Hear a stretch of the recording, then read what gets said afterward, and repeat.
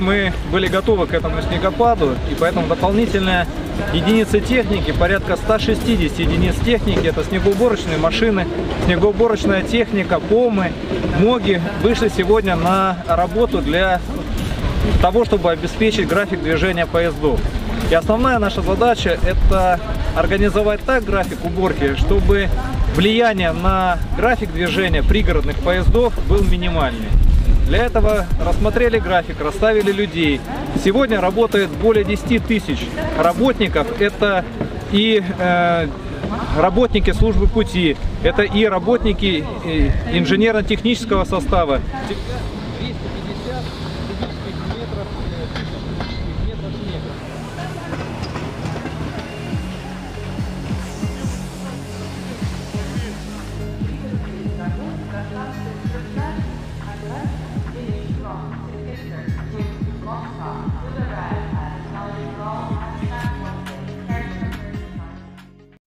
I can never be alone.